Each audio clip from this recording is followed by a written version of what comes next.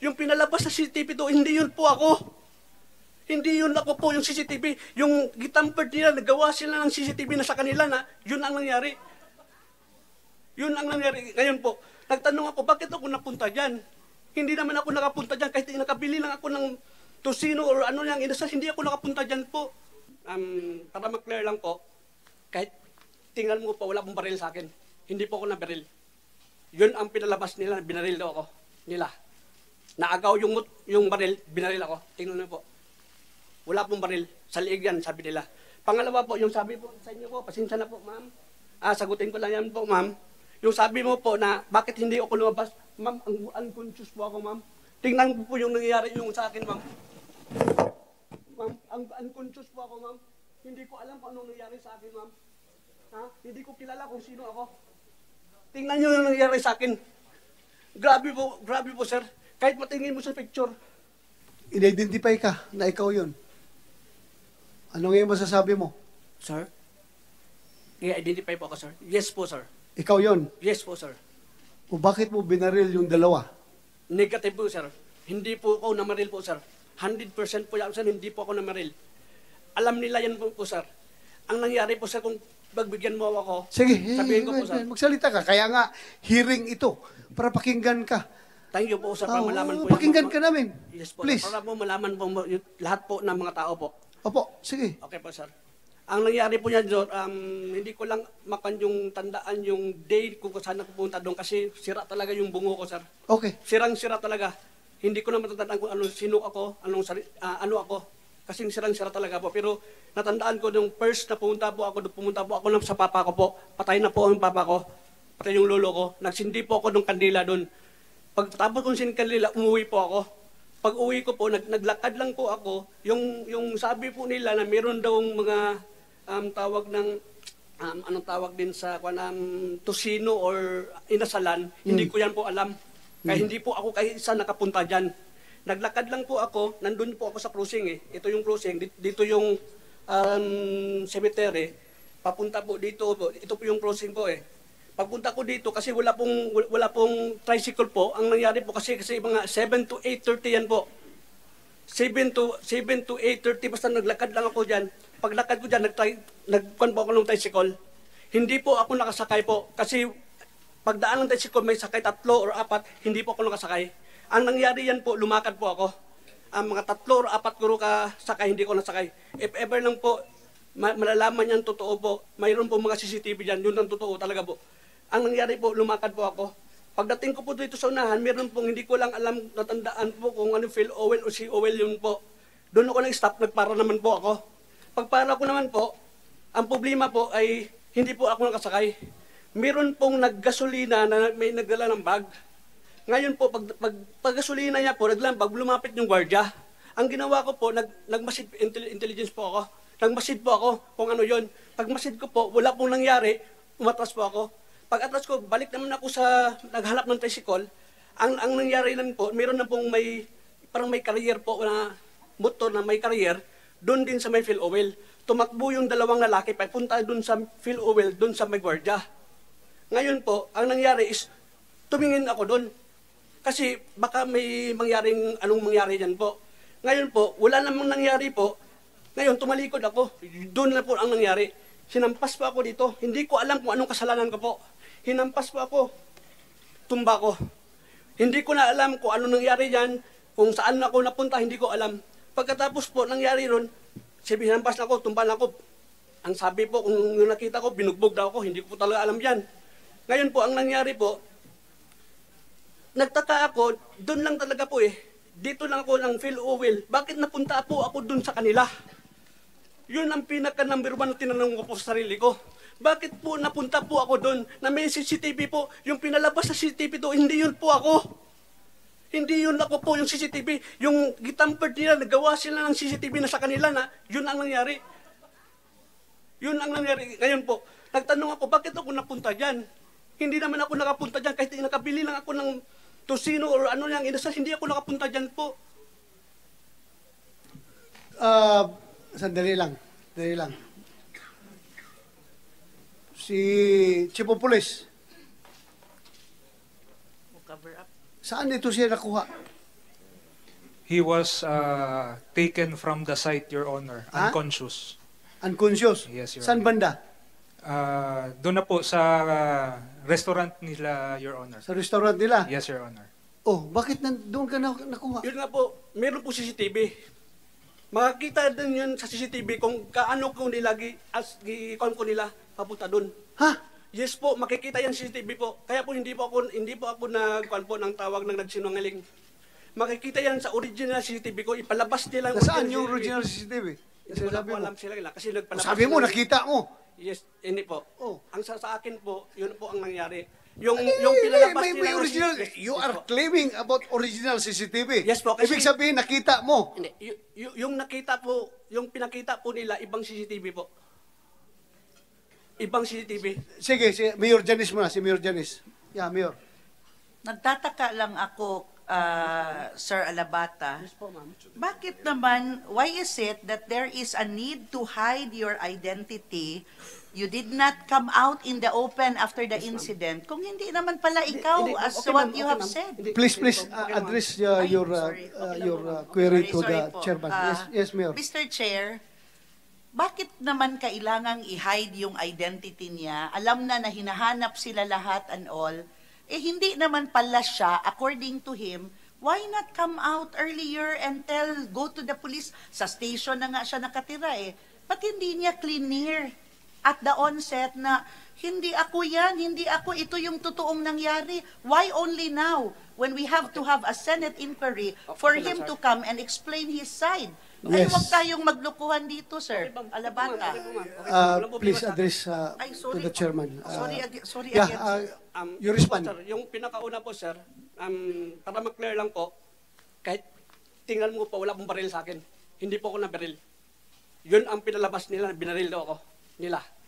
Naagaw yung, yung baril, binaril ako. Tingnan mo po. Wala pong baril. Sa liig yan, sabi nila. Pangalawa po, yung sabi po sa inyo po, pasensya na po, ma'am. Ah, sagutin ko lang yan po, ma'am. Yung sabi mo po na, bakit hindi ako lumabas? Ma'am, ang unconscious po ako, ma'am. Tingnan po yung nangyayari yung sa akin, ma'am. Ma'am, ang unconscious po ako, ma'am. Hindi ko alam kung anong nangyari sa akin, ma'am. Ha? Hindi ko kilala kung sino ako. Tingnan niyo yung nangyari sa akin. Grabe po, grabe po, sir. Kahit matingin mo sa picture. Kahit sa picture, sir, Mr. Sir. Mr. Chair, tanong ko lang po, di ba sabi niya nagpumunta siya sa sementeryo? Bakit naka bullet, bullet, bullet vest po siya? Tapos dalawang baril niya. Um, sir, pas- pasensya na, sir. Sagutin Pasensya mo. na, Okay lang, sir. Sige. Ito po, sir. About po sa bullet vest, sir, kahit ngayon po, if ever saan ko magpunta, mag-bullet vest po, yung kalaban po natin, drug po, sir. Drug personality po, sir. Mga drug lord po, sir. Ever Dan- magtuntun po Dandahan ka magsalita. Ano ka? Ah, pasensya po. Ilonggo ka? Pasensya na po ba? Ilonggo? Eh, May pagka, pag, konti lang po. Ilonggo ka, Ilonggo? Um, yes po. Oh, so, po. dandahan lang, dandahan. Okay, kay- pa- pasensya na po. Yes po. Ang nangyari yan po, about dun, sabi niya magbe-best po ako. Nangyari yan po kasi yung, yung trabaho ko po, PNP Drug Enforcement. Ngayon po, yung mga drug Pidig ka, pidig. Yes po. Saan ka assign? Region 6 po. Region 6? Yes po. Ikaw ang pro under ka, pindig. Yes po. Yung team mo doon sa Region 6. Yes po. Yes po. Sige.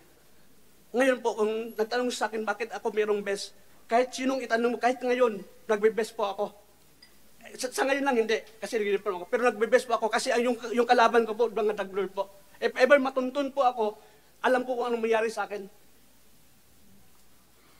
Sige po. Sige, uh, Mayor uh, Diaz. Ah, thank you, sir.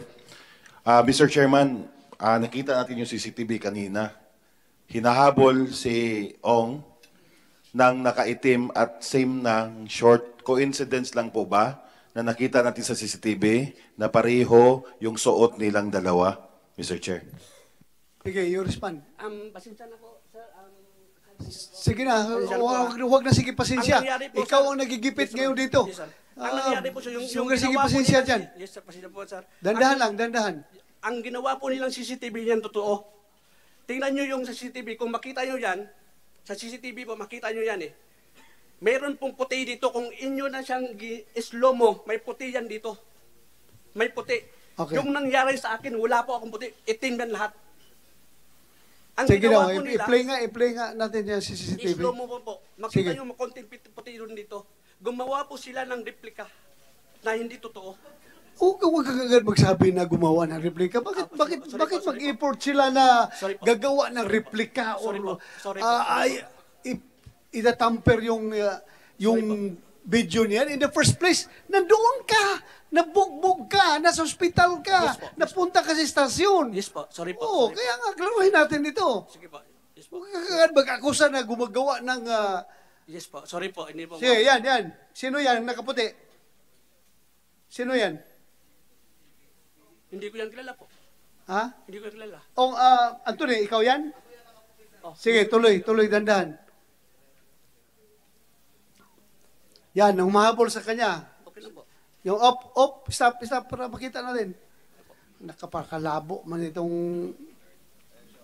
Pwede na ma-enhance natin yan. Ah,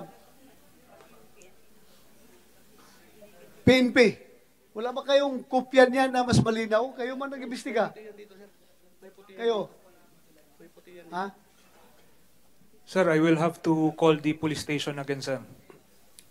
Sige, ah, Mr. Anthony Ong, Ah, Chairman, may ibang video po tayo dyan. meron? Yes po, sir.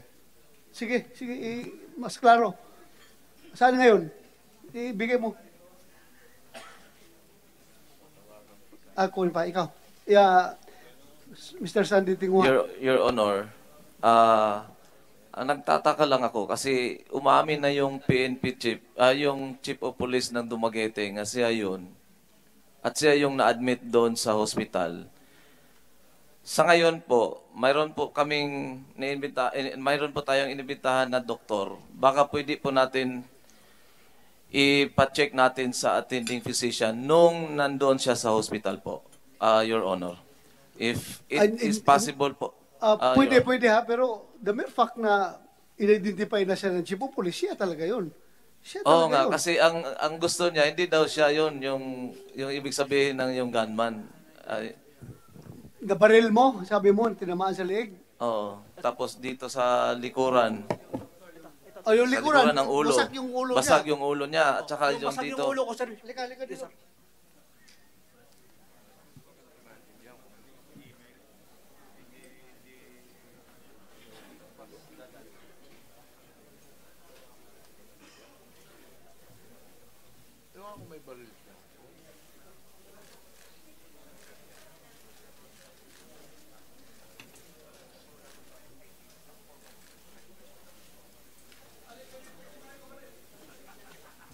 Anthony, Mr. Anthony Ong, ikaw man nakabaril. Halika, tingnan mo.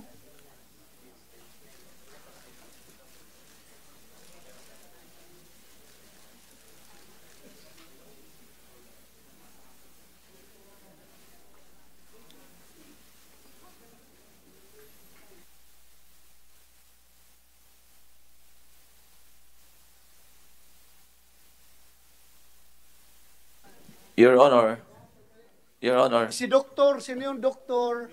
Dr. Lyosa po, Your Honor. Dr. Lyosa. Liusa, where are you? Please, come here. At mag-out ka muna. Administer the out, uh, kumsek.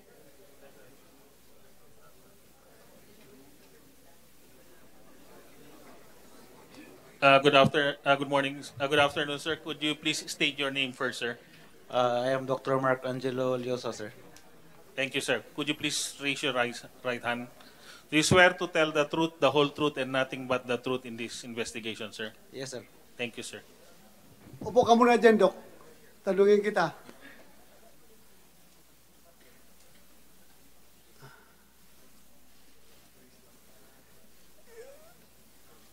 Ikaw yung doktor na nag, ah, gumam, naggamot doon sa suspect nung pagpatay ng dalawa. March March 3, uh, 2021, allegedly a, a patient came to the hospital and I did surgery on a certain patient who was allegedly mauled and shot at a certain uh, incident in uh, Bagakay. So, ikaw yung attending physician. Yes, sir. Ah, makilala mo pa ngayon yung ah, pasyente na yon. Given the chance to examine the patient, yes, sir. So, kinumpirma mo na ito yung pasyente mo. Uh, I need to examine the patient because I need to examine the person because I did surgery to the patient. Okay. So, Maalala mo pa kung saan mo yung surgery. yes, sir. So, kung may scar man or whatever marks, makita mo. Yes, sir. Please uh, approach uh, this chairman.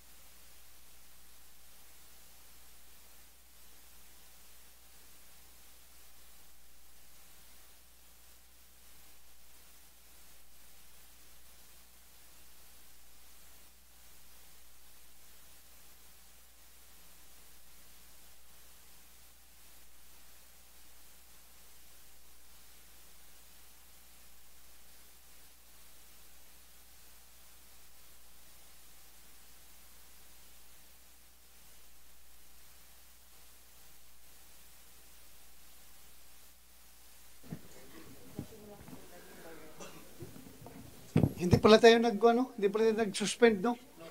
O tuloy-tuloy, tuloy. Police Staff Sergeant Noel Alabata, Yes, sir.